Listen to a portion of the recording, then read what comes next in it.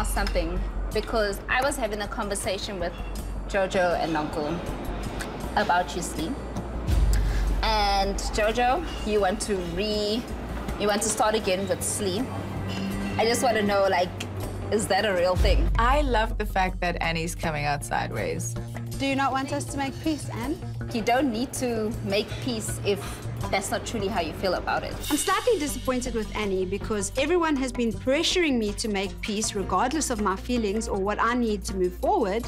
And yet again, as I say all the time, nothing can be left. It has to be like rehashed. No, no, no, no. You can't make peace because X, Y, and Z. What is the end point going to be? We, we're always going to just have the disagreement about the same thing. So at this point, I'm like, let's just let's Put just everything on the table, I agree, because also, if I were to echo on your words, there's things that I've heard were discussed in my absence. I know there are things that were discussed about my man, especially at your event. And, uh, and we had a chat or a meeting, as you guys call it, with Jojo and Slee. And I think it's time maybe that we just address everything. Like, be honest. There's a fire coming now.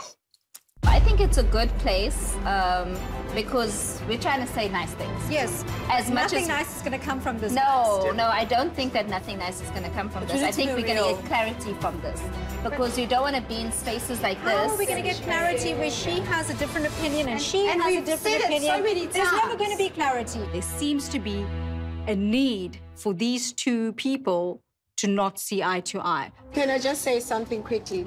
But I, I hear what Nonku is saying. There were things that were said at your event, and she was not there. Yeah. I started getting burned for things that I had nothing to do with because it happened in my presence mm-hmm. at your event. Yeah. Okay, can I please find out what exactly happened? Well, regarding me at Annie's event. Was it me? Yes, you I asked me. if how, how does she feel. And what did I say? What was my she response? Said that um, if you're happy, then she's happy. Thank you. Was there more? can you maybe like say what happened? I think all we can do is to support our friend because this is what she wants. Okay. As long as she's happy, Yeah. she has my blessing Okay. until she's not. It's a long time ago at this point. I mean, I did start this drama. I didn't intend it to have so many legs because now it's running.